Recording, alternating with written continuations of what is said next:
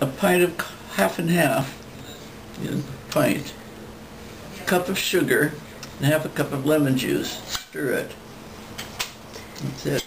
And some grated zest. Some grated zest, do you heat the cream and the sugar? No, You just stir anything. it up Just so stir it in the And then just it.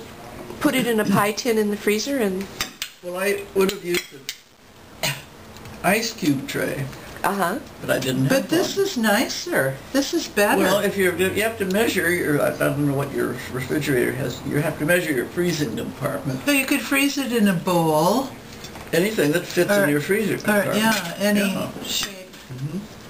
These lemon bars are so incredible. And they're so easy to make. You take one cup of flour, a half a cup of powdered sugar, and a stick of soft butter. And you can either put it in the food processor or do it like this, you know, like a pie crust. You don't melt anything.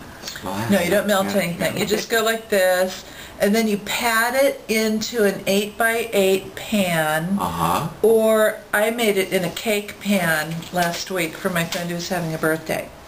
Put it in the oven, 350, for 15 minutes. And while it's cooking, you take your three tablespoons of lemon juice, same as the ice cream recipe, and um, a tablespoon of zest, and you mix that with three eggs and a cup of sugar. Beat it.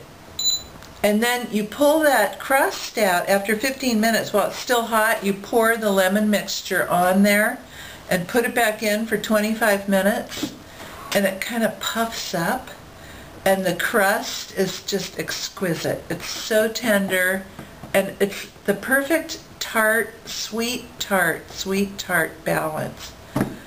It's just unbelievable. It's really, really you serve good. at room temperature, or- Yes, you must let it cool before cutting, and then you eat it. Uh-huh.